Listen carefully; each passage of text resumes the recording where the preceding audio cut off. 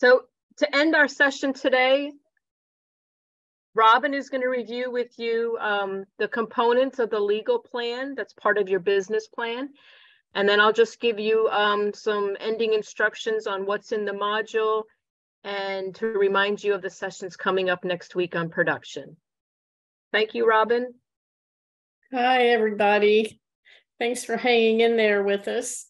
Um, the USDA identified five areas of farm risk, and legal is one of the words that they use to describe it. Um, I was just pulling up the ag plan from University of Minnesota, and they don't have a tab specifically for legal, but they do have risk management. And I think that might uh, fit what you need to do better. I'm going to try again to share my screen. The last time when I when I did this, it didn't share the the screen that I wanted, but let's see. So I think they have a good uh, um, uh, list here of things that you should think about. We've been talking tonight about different kinds of insurance. So if you if you grow a, a crop of any kind, you should definitely have some insurance on the crop, either catastrophic insurance or the NAP program for the non-insured crops that you can get basic coverage. And this also brings into play the financial plan that we talked about before, because if you have a disaster and make a claim, having enterprise budgets for the, the crops that you grow is going to really help you in um, that claim. I've been pulled in um, in disputes at times. Just if they if you don't have any records, they're going to try to come up with what they think it would um, cost you to produce the crop and how far you are. And so they're going to have to use the county average. So having your own records is much better. And often they don't have county averages, but that's one of the reasons we develop budgets. So if you want to develop, um, start doing your cost accounting or your enterprise budgeting for your farm, as we mentioned before, there are there are some budgets at Rutgers and there's budgeted at other states that might help you. Ours haven't been updated in a while for most crops, but some of them have been.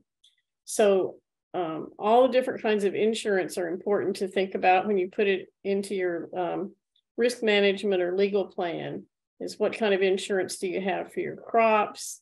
Also, um, uh, health insurance, uh, property insurance, liability insurance, all those kind of things that could actually cause a disaster for your farm if um, you did have some kind of uh, loss or suit or so forth. So they've listed a lot of the kinds of insurances here on the ag plan. Uh, again, I strongly encourage you to look at this. And then you also have some different kinds of production risk that we've talked about in various ways and uh, different sessions, but uh, mostly focusing on those tonight. And also um, um, food safety, uh, health and safety of your workers, uh, marketing risk.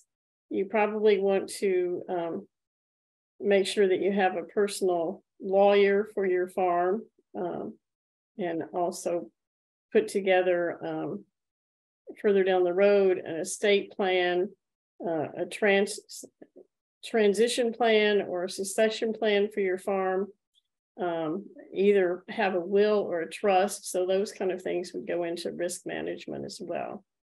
And uh, just to look again at the ag plan, for every category that they have here on the left, they have samples of things that should be in it. They have tips that you can use. They have resources and uh, comments so that just even if you're not going to use their um, program to do your business plan, looking at their information is a is a very good resource. So I think I will stop sharing and uh, turn it back over to Melissa, and I'll be happy to answer any questions. All right, thank you very much, Robin. You're welcome. Does anyone have any questions for Robin about how to find that resource? It is listed in the module, I believe. It's just agplan.umn.edu. Mm -hmm. okay. Yeah, I think that might be in the um the second week's module. Okay, good. Thank you, Madeline. Yep, it's So- either in the first or second. Before we close, uh, Madeline wanted me to remind you that uh, today's presentation are in your modules. The um, FSA links um, are also in the module in the resource section, so please uh, take a- an opportunity to check those out.